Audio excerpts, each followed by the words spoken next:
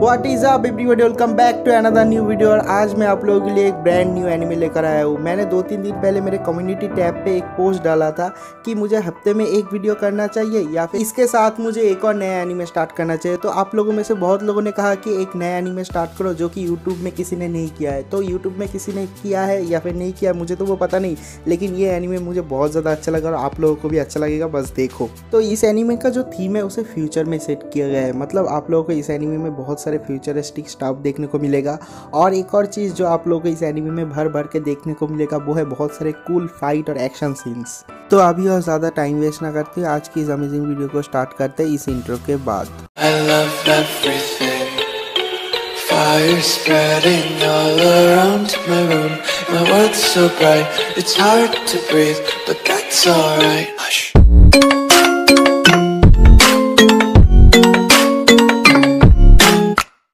तो इस एनिमे के स्टार्टिंग में हमें कांसाई शहर को दिखाया जाता है। जैसे कि मैंने बोला ही था कि ये एनिमे फ्यूचर में सेट है तो बहुत सारे फ्यूचरिस्टिक स्टाफ भी दिखाया जाता है लाइक फ्लोटिंग कार्स हवा में तैरने वाले बसेस इस तरह के कुछ चीज़ें और टेक्निकली डेवलप्ड एक शहर दिखाया जाता है। तो उसके नेक्स्ट सीन पे एक लड़की को दिखाता है दिखाता है कि वो एक सील सेंटर पे काम करती है और जब उसका काम ख़त्म हो जाता है, वो वहाँ से परमिशन लेके बाहर निकल जाता है। और उसके बाद वो लड़की जब रोड से जा रही होती है, देखती है कि एक कैट कार के नीचे आने वाला होता है तो वो दौड़ती हुई वहाँ पर चली जाती है और उस कैट को बचा लेती है, जिससे कि वो कार दूसरी जगह पे जाके ठुक जाती है और वो कार वाला चिल्लाने लग जाता है। मतलब इस सीन में दिखाने की कोशिश की गई है कि ये लड़की बहुत ही ज़्यादा दयालु है और उसके बाद दिखाता है कि वो लड़की भागते भागते एक दूसरे जगह पे आ जाती है। तो उसके नेक्स्ट सीन में दिखाता है कि वो लड़की भागते भागते एक दूसरे गली पे आ गई है और आने के बाद देखता है कि वहाँ पर एक फ़ूड स्टॉल लगा हुआ है, जिसमें तोकोयाकी बिक रहा है। तो इस लड़की को बहुत ज़्यादा पसंद है तोकोयाकी खाना तो वो वहाँ पर चली जाती है जाने के बाद ऑर्डर करती है। लेकिन दिखाता है कि वहाँ पर एक और कस्टमर होता है, वो पैसा जब दे रहा होता है, उसके पॉकेट से कुछ गिर जाता है, कुछ पैसे गिर जाता है। जब वो लड़की कहती है कि तुम्हारे पॉकेट से कुछ पैसे गिर गए, वो लड़का कोई भी भाव नहीं देता और उसके बाद वो लड़का वहाँ से चला जाता है, अपने बाइक पे जाके बैठ जाता है। तो वो लड़की उस पैसे को उठा के वहाँ पर जाती है और जाने के बाद कहती है कि, ये लो, तुम्हारा पैसा गिर गया है। वो लड़का कोई भी भाव नहीं देता, उसके बाद भी। और वो कहता है कि गिरा हुआ पैसा बैड लक होता है। और ये कहने के बाद वो अपना खाना खा के वहाँ से बाइक लेके चला जाता है। तो उसके नेक्स्ट सीन में दिखाता है कि उस लड़की का टोकोयाकी जो खाना है, वो प्रिपेयर हो गया है और वो लड़की वो खाना ले लेता है। लेकिन जब वो लड़की पे करने जाती है, दिखाता है कि यहाँ पर ऑनलाइन पेमेंट नहीं होता। तो वहाँ पर जो सेल्स गर्ल होती है, वो कहती है कि हम यहाँ पर सिर्फ़ कैश लेते हैं, यहाँ पर ऑनलाइन पेमेंट नहीं होता। और उसके बाद वो जो लड़की है, देखती है कि उसके हाथ में वो पैसा है, जो पैसा उस लड़के के पॉकेट से गिर गया था। तो ये लड़की इस पैसे से उसके खाने का पेमेंट नहीं करती और उसके बाद दिखाता है कि जो सेल्स गर्ल है। वो सीधा पुलिस को कॉल लगाती है और एक ही सेकेंड में पुलिस आता है और उसे पकड़ के कांसाई पुलिस स्टेशन पर ले चली जाती है। तो उसके नेक्स्ट सीन में उस बाइक वाले लड़के को दिखाता है। दिखाता है कि उस लड़के के बैंक में कुछ पैसे डिपॉजिट हुए हैं और उसे एक इलीगल काम मिला है करने के लिए। और वहाँ पर दिखाता है, और दो लड़के होते हैं, उसी टीम के, वो कहते हैं कि ये हमारे काम बैक का काम है। और एक लड़का कहता है कि तुम वहाँ पर मत जाओ, वहाँ पर बहुत सारे लोगों का फाइट हो रहा है, तुम वहाँ पर जाके ज़िंदा वापस नहीं आ सकते। और ये बाइक वाला लड़का बहुत ज़्यादा कॉन्फिडेंट होता है और वो कहता है कि मैं हार जाऊँ, ऐसा कभी हो नहीं सकता। और उसके बाद वो उसके बाइक को लॉन्च करता है। माँ कसम, इस बाइक को देख के मैं इस बाइक के प्यार में गिर गया। क्या ही खतरनाक बाइक है। पहले मुझे लगा था कि ये बाइक सिर्फ़ ज़मीन पे ही चलता है लेकिन दिखाता है कि ये बाइक धूम थ्री की बाइक से भी कुछ कम नहीं है। वो आसमान में चलता है यहाँ पे चलता है दूसरे लोगों के खिड़की पे चलता है दूसरे घरों पे चलता है। मतलब क्या ही चलता है मुझे देख के मज़ा आया। और ये मज़ा मैं हिंदुस्तान के हर एक व्यक्ति को देना चाहता हूँ। और उसके नेक्स्ट सीन पे स्क्रीन पे उसके कर्मों का फल दिखाता है। दिखाता है कि वो एक क्रिमिनल है और वो अकुदमा का एक मेंबर है। और उसका जो इस्टीमेटेड सज़ा है, वो है 745 इयर्स का। मतलब एक इंसान ज़िंदा कितने साल रहता है? 100 साल यहाँ पर 700 साल से ज़्यादा उम्र की सज़ा मिला है इसे। मतलब यहाँ पर कुछ भी चल रहा है। तो उसके नेक्स्ट सीन पे दिखाता है कि निशनरी वॉर हाउस पे दो गैंग का फाइट हो रहा है और वहाँ पर उस फाइट के बीचों बीच ऊपर से अपना जो हीरो है, वो अपना बाइक लेके नीचे कूद जाता है। और कूदने के बाद दिखाता है कि एक बंदे को वो एक चीज़ देता है कहता है कि ये तुम्हारे लिए पार्सल है। और वो ये चीज़ देने के बाद बाहर आ जाता है। बाहर आके वो जब सिगरेट या फिर स्मोकिंग कर रहा होता है, तब दिखाता है कि जो चीज़ उसने पार्सल किया था, वो कुछ और नहीं, एक बॉम्ब होता है। और वो बॉम्ब फाटता है और दोनों गैंग के सारे के सारे मेंबर ख़त्म हो जाते हैं। जाते हैं। तो उसके थोड़ी देर बाद दिखाता है कि उसके हाईटेक डिवाइस में एक एसएमएस आता है, जहाँ पर किसने एसएमएस किया है वो लिखा नहीं होता। सिर्फ़ ये लिखा हुआ है कि इसे एक डिलीवरी रिक्वेस्ट आया है और अगर इसने ये काम कर दिया तो उसे हंड्रेड मिलियन यान मिलेगा, जो कि एक बहुत ही बड़ा नंबर होता है। उसके बाद एक और एसएमएस आता है, जहाँ पर लिखा हुआ है, लुक एट योर राइट। तो वो बंदा उसके राइट में देखता है और देखता है कि वहाँ पर एक सूटकेस पड़ा हुआ है। मतलब उस सूटकेस को उसके पास डिलीवर करके आना पड़ेगा। तो उसके बाद एक और एसएमएस आता है जहाँ पर लिखा हुआ है डिपॉजिट कॉन्फर्म मतलब इसके बैंक अकाउंट में पैसा आ चुका है। उसके बाद ये लड़का कहता है कि अब मैं इस काम को मना कैसे कर सकता हूँ? और ये सीन भी पर कट हो जाता है। तो उसके नेक्स्ट सीन पे ब्राउलेन नाम के एक आदमी को दिखाता है। दिखाता है कि वो हद से ज़्यादा स्ट्रांग है और वो बहुत सारे पुलिस रोबोट के साथ फाइट कर रहा है। और फाइट करते करते सारे पुलिस रोबोट को हरा देता है, तोड़ है। तो उसके बाद स्क्रीन पे उसके सजा का काउंटडाउन दिखाता है। दिखाता है कि उसे 340 फोर्टी ईयर्स के लिए जेल हुआ है। और उसके बाद दिखाता है कि उसने जिन पुलिस रोबोट्स को तोड़ा है, उनमें एक एसएमएस आता है और उसमें लिखा हुआ है कि काट थ्रोट नाम का एक बंदा है, जिसको कांसाई पुलिस स्टेशन पे आज एग्जीक्यूट कर दिया जाएगा मतलब मार दिया जाएगा। वो भी एक बहुत बड़ा खूनी है, पापी है। और तुम्हें उसे बचाना पड़ेगा, लेकिन ये याद रखना कि कांसाई पुलिस स्टेशन का सिक्योरिटी बहुत ज़्यादा टाइट है। अगर तुम बचा सकते हो, अगर तुम्हें इतना हिम्मत है तो उसे बचा के दिखाना। मतलब उसे गुस्सा दिलाने की कोशिश करता है। और उसके बाद उसे गुस्सा भी आ जाता है वो कहता है कि, ओ, मेरे पावर के ऊपर तुम्हें शक हो रहा है? तो ठीक है, मैं उसे बचा के ज़रूर दिखाऊँगा।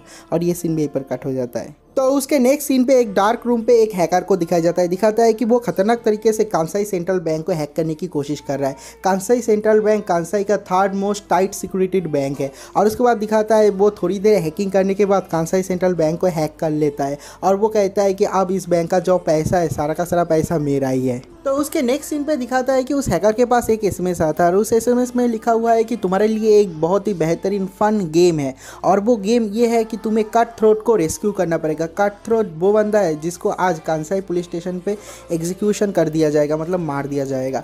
उससे पहले तुम्हें उसे रेस्क्यू करना पड़ेगा और अगर तुम ये कर पाए तो तुम्हें हंड्रेड मिलियन यान मिलेंगे। तो उसके बाद वो देखता है कि बाकी के आकुदामा के मेंबर को भी एक ही मिशन मिला हुआ है और सबसे पहले जो ये मिशन कंप्लीट करेगा, उसे हंड्रेड मिलियन यान मिलेगा। तो वो सोचता है कि ये तो बहुत ही एक फन गेम है, मैं इसमें हिस्सा ज़रूर लूँगा और ये सीन भी यहीं पर कट हो जाता है। तो उसके नेक्स्ट सीन पे कांसाई नॉर्थ वर्ड स्काई के फ्लोटिंग बस का एक सीन दिखाता है, जहाँ पर एक आदमी को अचानक से हार्ट अटैक आ जाता है। तो उस बस में जितने सारे लोग थे, सब लोग कह रहे हैं कि अब हम लोग क्या करें? तो दिखाता है कि वहाँ पर एक लड़की आती है और आने के बाद दिखाता है कि उस लड़की के पास ऑपरेशन की सर्जरी के सारे के सारे सामान है और वो उस आदमी के सीने को चीर के खतरनाक तरीके से सर्जरी करने लग जाती है। तो वहाँ पर जितने सारे लोग थे, सब लोग उसे पूछ रहे थे, क्या तुम एक डॉक्टर हो? और उसके बाद दिखाता है कि वो लड़की बहुत ही खतरनाक तरीके से सर्जरी कर रही होती है। जब बाकी के लोग उसे रोकने की कोशिश करता है, वो बाकी के लोगों को मार देता है। और उसके बाद दिखाता है कि आखिर में उसने सक्सेसफुली सर्जरी कंप्लीट कर लिया, लेकिन एक आदमी को बचाते बचाते उसने बाकी के सारे के सारे आदमी को मार दिया है। और दिखाता है कि उसके सेलफोन पे भी एक ही एसएमएस आता है, उस हंड्रेड मिलियन यान का। और उसे भी सेम मिशन मिला है कट थ्रोट को बचाने का। और दिखाता है कि वो भी उसे एक्सेप्ट कर लेती है, और ये सीन भी यहीं पर कट हो जाता है। तो उसके नेक्स्ट सीन पे हम लोग देखते हैं कि पूरे शहर में अनाउंस कर दिया गया है कि कट थ्रोट का आज एग्जीक्यूशन कर दिया जाएगा। तो बहुत सारे लोग कंसाई पुलिस स्टेशन के सामने आते हैं और दिखाता है कि जितने सारे लोगों को कॉन्ट्रैक्ट दिया गया है हैक का स्नैचर जितने सारे लोगों को कॉन्ट्रैक्ट दिया गया है हंड्रेड मिलियन यन का, वो सारे के सारे लोग एक एक करके उस कांसाई पुलिस स्टेशन के चारों तरफ़ आ जाते हैं। और ये सीन यहीं पर कट हो जाता है। उसके नेक्स्ट सीन पे कांसाई पुलिस स्टेशन के अंदर का एक सीन दिखाया जाता है। वहाँ पर उस लड़की को दिखाया जाता है, जिस लड़की को एपिसोड के स्टार्टिंग में दिखाया गया था। और दिखाता है कि वहाँ पर जो इंस्पेक्शन पुलिस रोबोट है, वो उसे पूछता है कि तुम्हारे पास तो पैसा था, लेकिन तुमने उस आदमी को पैसा क्यों नहीं दिया पे क्यों नहीं किया? तो वो लड़की कहती है कि मेरे पास तो पैसा था, लेकिन वो पैसा मेरा नहीं था, इसलिए मैंने नहीं दिया। तो उसके नेक्स्ट सीन पे दिखाता है कि उस पुलिस स्टेशन के बाहर आकुदमा सोसाइटी के जो एस क्लास के मेंबर्स हैं, उन लोगों ने हमला कर दिया है। और उसके बाद वहाँ पर जितने सारे पुलिस रोबोट्स थे, उन लोगों को हरा के सारे के सारे आकुदमा के मेंबर उस पुलिस स्टेशन के अंदर घुस जाते हैं। तो उसके नेक्स्ट सीन पे दिखाता है कि एक पुलिस ऑफिसर उसके चीफ ऑफिसर के रूम में जाके कहता है कि हमारे पुलिस स्टेशन में अकुदामा के एस क्लास के मेंबर घुस आए हैं। और उतने में ही दिखाता है कि वहाँ पर रेड लाइट जल जाता है और दिखाता है कंट्रोल रूम का एक सीन कंट्रोल रूम में जो हैकर बंदा होता है, वो उसने उस पुलिस स्टेशन के सारे के सारे कंट्रोल्स को हैक कर लिया है। और वो कहता है कि अब से कुरियर ब्रोलर डॉक्टर और जो काट थ्रोट करेगा, सब कुछ मैं यहाँ से नज़र रख पाऊँगा, सब कुछ देख पाऊँगा। तो ये सब कुछ देखने के बाद जो पुलिस चीफ होता है, वो कहता है कि कट थ्रोट को एग्जीक्यूशन हॉल पे ले चलो, मैं उसे अभी के अभी एग्जीक्यूशन कर दूँगा और ये सीन भी यहीं पर कट हो जाता है। तो उसके बाद दिखाता है कि पीछे से वो बाइक वाला बंदा आ जाता है, जिसका नाम है कुरियर। इस आकुदामा में क्या होता है, लोग जो काम करते हैं, उसी से उन लोगों का नाम होता है। तो उसके बाद दिखाता है कि पीछे से वो ब्राउलेर वाला बंदा आ जाता है, जिसमें बहुत ज़्यादा ताकत है और आने के बाद कुरियर वाले बंदे के साथ फाइट हो जाता है। तो दिखाता है कि वो उसके बाइक से उसे मारता है, लेकिन उसे कुछ भी नहीं होता। और इसके बाद दिखाता है कि पीछे से एक जहरीला गैस आता है जिससे कि वो आदमी डाउन हो जाता है और पीछे से वो डॉक्टर आता है। तो दिखाता है कि जो हैकर वाला बंदा है, वो उन लोगों के ऊपर वाले फ्लोर पे ही बैठा हुआ है कंट्रोल रूम पे और वो बाहर से बैठ के सब कुछ देख रहा है।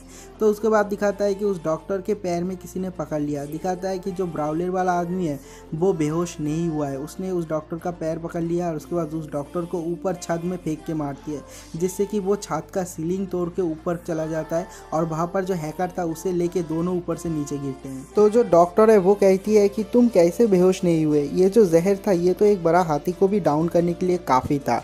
तो उसके बाद दिखाता है कि वो हैकर वाला बंदा अपने दोनों ड्रोन को एक्टिवेट कर लेता है। एक ड्रोन उस कुरियर वाले बंदे की तरफ़ और दूसरा ड्रोन उस ब्राउलर वाले बंदे की तरफ़। और दिखाता है कि उस कुरियर वाले बंदे ने भी अपना गन निकाल लिया है और वो हैकर कहता है कि तुम दोनों गलती मत करना, इसमें प्लाज्मा ब्लास्ट है। और अगर एक बार भी मैंने प्लाज्मा ब्लास्ट को ऑन कर दिया तो तुम दोनों वेपराइज हो जाओगे। और उसके बाद वो डॉक्टर भी कहती है कि मैं भी इसका हिस्सा बनना चाहती हूँ। मतलब इन चारों के बीच में खतरनाक फाइट होने ही वाला होता है। दिखाता है कि कहीं से वो पहले वाली लड़की यहाँ पर आ जाती है, एक बिल्ली को बचाते बचाते।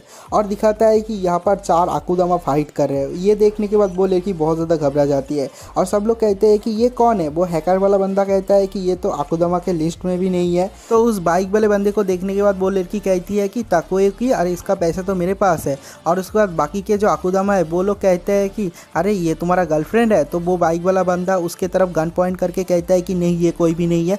चलो इसे ही मार डालते हैं। और दिखाता है कि चारों के चारों उसके तरफ़ गन पॉइंट करते हैं, उसे ही मारने के लिए। मतलब ये लड़की खत्म। Bye bye tata goodbye गया।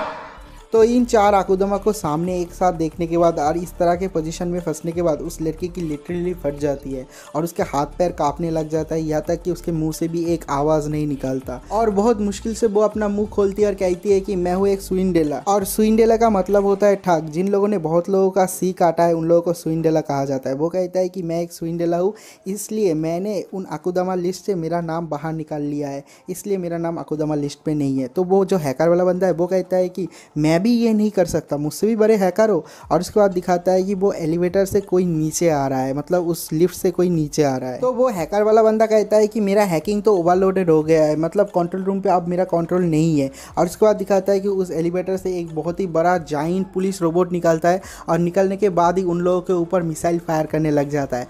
तो वो जो फ्लोर होता है, वो टूट जाता है, टूट के वो लोग एक और फ्लोर नीचे आ जाता है, जहाँ पर कैदियों को रखा जाता है। तो वो सारे के सारे आकुदमा सामने की तरफ़ भाग रहा होता है उसके पीछे जो जाइंट रोबोट है, वो पड़ा रहता है और बहुत ज़्यादा फायरिंग होता है। जिससे कि वहाँ पर जितने सारे सेल्स थे, वो सेल्स टूट जाते हैं। और उन सेल्स में से एक और आकुदमा निकलता है, जो कि एक लो लेवल आकुदमा है। तो इस आकुदमा को सुनाई देता है हंड्रेड मिलियन यान के बारे में और वो बहुत ज़्यादा लालची हो जाता है वो कहता है कि, रुको, मेरे लिए रुको। मैं भी इस एक्शन में पार्ट लेना चाहता हूँ। मुझे भी हंड्रेड मिलियन यान चाहिए और वो भी उन लोगों के पीछे भागने लग जाता है। तो उसके बाद फाइनल एग्जीक्यूशन हॉल का एक सीन दिखाता है दिखाता है कि वहाँ पर कट थ्रोट को लाया गया है और वहाँ पर उसका एग्जीक्यूशन होने वाला है। और उसके बाद वहाँ पर जो आदमी होता है, वो कहता है कि ये जो कट थ्रोट है, ये बहुत ही बड़ा एक खूनी है और इसे 967 ईयर्स का जेल हुआ है। लेकिन आज हम लोग इसका एग्जीक्यूशन करेंगे और उसके बाद वहाँ पर काउंटडाउन स्टार्ट होता है। लेकिन जब वहाँ पर काउंटडाउन खत्म होने ही वाला होता है, दिखाता है कि वहाँ पर सारे के सारे आकुदमा और वो पुलिस रोबोट आ जाता है और आने के बाद वहाँ पर उन लोगों के बीच में एक खतरनाक फाइट स्टार्ट हो जाता है। जो पुलिस रोबोट होता है, वो एक मिसाइल फायर करता है, जिससे कि वो मिसाइल जाके वहाँ पर लगता है, जहाँ पर बहुत सारे लोग बैठे हुए हैं तो वहाँ पर जितने सारे लोग थे, सब लोग मर जाते हैं।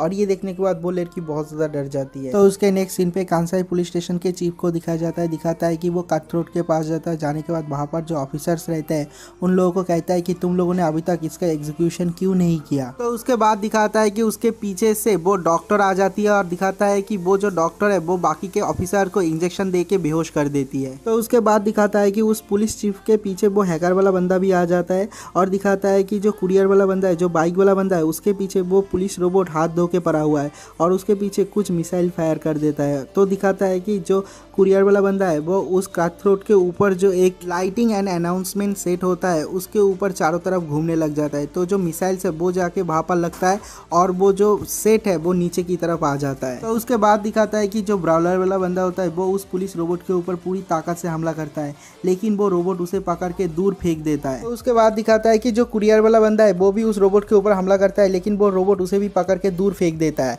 और जो उसका बाइक है, वो एक लोहे में जाके अटक जाता है। और उसके बाद दिखाता है कि जो पुलिस रोबोट है, वो धीरे धीरे उसके पास जा रहा है। और यहाँ पर जो लड़की है, वो पहले सीन में हमने देखा था, जिस लड़की को, वो लड़की दूर से ये सब कुछ देख रही होती है। और वो कहते हैं कि आई एम सॉरी मैं तुम्हारे लिए कुछ भी नहीं कर सकता। तो उसके बाद वो लड़की अपने हाथ में वो फाइव हंड्रेड रियान का वो कॉइन देखती है। और देखने के बाद वो सोचती है कि, अरे, ये तो उसका पैसा है। मुझे तो तुम्हें वापस देना था। अगर तुम मर गए तो मैं तुम्हें वापस कैसे दूँगा? मैं तुम्हें मरने नहीं दे सकता, क्योंकि मुझे ये पैसा तुम्हें वापस करना है। और उसके बाद वो लड़की एक प्लान करती है और कहती है कि उस रोबोट को, देखो, यहाँ पर यहाँ पर एक और अकुदमा है। और उसके बाद दिखाता है कि वहाँ पर जो एक लो लेवल अकुदमा था, उसे दिखा देती है। और उसके बाद वो रोबोट जब उसके पीछे जा रहा होता है, दिखाता है कि वो लड़की पीछे से एक फायर करती है। और वो मिसाइल जाके सीधा उस पुलिस रोबोट को लगता है, जिससे कि उस कुरियर वाले बंदे को थोड़ा सा टाइम मिल जाता है। और उसके बाद दिखाता है कि उसका जो बाइक है, वो रिपेयर हो जाता है और उसके बाद बहुत ज़्यादा एनर्जी आ जाता है। और उसके बाद उस बाइक को किसी तरह से वहाँ से निकालने के बाद उस रोबोट के ऊपर एक पावरफुल अटैक करता है, जिससे कि वो रोबोट टूट जाता है। तो उसके बाद वो बंदा उस लड़की के सामने आता है और आने के बाद कहता है कि मैं तुम्हें थैंक यू नहीं बोलूँगा, तुमने जो किया उसके लिए। और उसके बाद वो लड़की कहती है कि ठीक है। और उसके बाद दिखाता है कि वो डॉक्टर वो हैकर और वो ब्रोलर वो सब लोग अकुदमा के सारे के सारे मेंबर वहाँ पर आ जाते हैं। तो उसके बाद उस पुलिस चीफ को दिखाता है। दिखाता है कि यहाँ पर इतना ज़्यादा फाइटिंग होने के बाद भी वो पुलिस चीफ नहीं मरा। और वो चिल्ला चिल्ला के कहता है कि मैं तुम लोगों को कट थ्रोट को ले जाने नहीं दूँगा, मैं तुम सब लोगों को एग्जीक्यूट कर दूँगा। तो उसके बाद दिखाता है कि उस पुलिस चीफ के पीछे से कोई आता है आने के बाद उसका हेड चॉप ऑफ़ कर देता है। सब लोग देखते हैं, ये कट थ्रोट है। तो उसके बाद स्क्रीन पे कट थ्रोट का प्रिजन टाइम दिखाता है। दिखाता है कि 967 इयर्स के लिए उसे प्रिजन कर दिया गया था। तो उसके बाद उस बाइक वाले बंदे को दिखाता है। दिखाता है कि वो कट थ्रोट के पास जाता है। जाने के बाद वो सूटकेस उसे देता है। जो सूटकेस डिलीवरी करने का ऑर्डर इसे मिला था। और उसके बाद वो कट थ्रोट कहता है कि, अरे, उन लोगों ने जैसा कहा था, तुम तो ले आए सूटकेस मैं जब इस को देख रहा था, मुझे लग रहा था क्या यहीं पर मिशन खत्म हो गया, इन लोगों का काम खत्म हो गया। लेकिन नहीं, यही से असली ट्विस्ट स्टार्ट होता है। तो दिखाता है कि जो कटथ्रोट वाला बंदा होता है, उसके पास जो सूटकेस दिया था उस कुरियर वाले बंदे ने, उसके अंदर बहुत सारे बेल्ट बॉम्ब होता है और सारे के सारे बॉम्ब पर जितने सारे लोग थे, सबके गले में लगा देता है इवन उसके खुद के गले में भी लगा लेता है। तो ये कटथ्रोट सब लोगों के गले में बेल्ट लगाने का काम इतना जल्दी में करता है कि किसी को समझ में भी नहीं आता कि क्या हो रहा है। तो सब लोग कहते हैं कि ये क्या है तो वो कहता है कि ये एक बॉम्ब है। तो वो इनोसेंट लड़की भी कहती है कि ये बॉम्ब है, लेकिन मेरे गले में क्यों? मैं तो इन लोगों का हिस्सा भी नहीं हूँ। तो उसके बाद एक पुलिस को दिखाता है दिखाता है कि उसके गले में भी वो बेल्ट है और उसके बाद दिखाता है कि जब वो उस बेल्ट को खोलने की कोशिश करता है, वो बम फट जाता है और उसका सर धड़ से अलग हो जाता है। और ये देखने के बाद सब लोग बहुत ज़्यादा डर जाते हैं। और वो लड़की कहती है कि मेरे गले से इसे निकालो। और तभी दिखाता है कि वहाँ पर जो बिल्ली थी, जो कैट थी, जो पुसी थी हाँ जो पुसी थी, वो चिल्लाता है और दिखाता है कि सब लोग उसके तरफ़ देख रहा होता है। और वो बिल्ली चिल्ला के कहता है कि लगता है सब लोग यहाँ पर मौजूद है और इसी पॉइंट पे ये वाला एपिसोड खत्म हो जाता है। तो नेक्स्ट एपिसोड कब आएगा मुझे पता नहीं, लेकिन मैं कोशिश करूँगा जल्द से जल्द लाने का। तब तक के लिए बाय